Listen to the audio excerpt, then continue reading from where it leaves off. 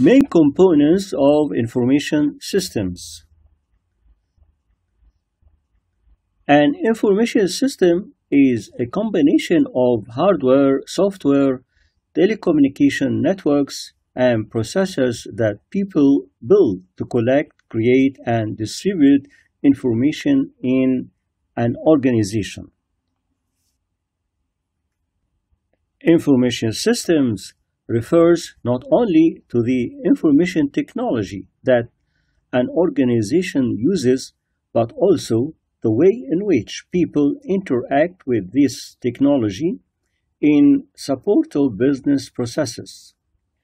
Information systems is an umbrella term for the systems, people, and processes designed to create, store, manipulate, and disseminate information.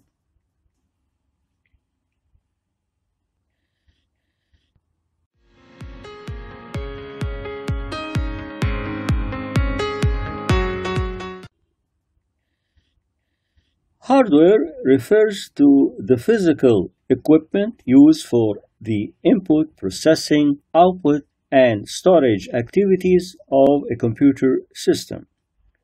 Thus, a computer system consists of devices for input, processing, output, and storage.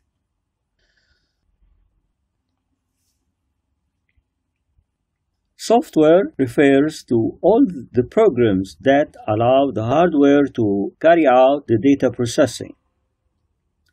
Software comprises programs or applications accessed by the user. Application software includes general purpose software and custom made software, while system software consists of low level programs that interact with the computer at a very basic level. Next, telecommunications.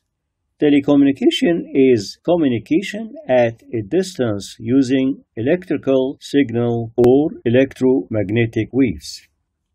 Telecommunications refers to all types of data transmission from voice to video. It is used to network computer systems and transmit information where connections are established via wired or wireless media. Telecommunication systems are the networking equipment enabling users and devices to communicate, where a telecommunications system is a collection of nodes and links to enable telecommunication. The nodes in the system are the devices where we use to communicate with, such as a telephone or a computer.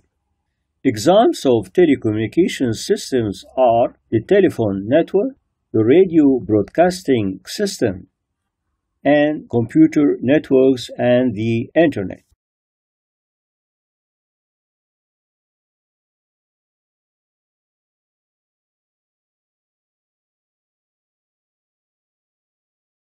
Database Database is the collection of interrelated records of data organized in such a way that individual records or groups of records can be retrieved according to specific criteria. A database is usually controlled by a database management system, DBMS. The data can then be easily accessed, managed, modified, updated, controlled, and organized. Human resources. Human resources encompass all those individuals who are directly involved with the system. People are key building block of any information system and play a critical role in its success. The human component of the information system includes technical specialists who participate in the development, operations, and maintenance of the system, as well as end users who finally own the systems and therefore should be trained, utilize its capabilities, and make the best use of it. Next, processes. These refer to a particular course of action intended to process information and produce the required result. A process maps the set of actions that an individual, a group, or an organization must perform in order to complete a specific business or organizational activity. For example, consider the process of restocking an inventory of goods for sale in retail store. In the process, the store manager must check the inventory of goods for sale and identify the needed items.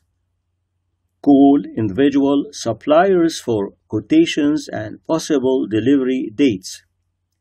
Compare prices and delivery dates quoted among several suppliers for the same goods. Select one or more suppliers for each of the needed items based on the terms of the agreement as availability, quality, or delivery.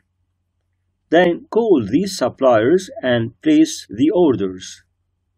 Next, receive the goods upon delivery, checking the accuracy and quality of the chip items, then pay the suppliers.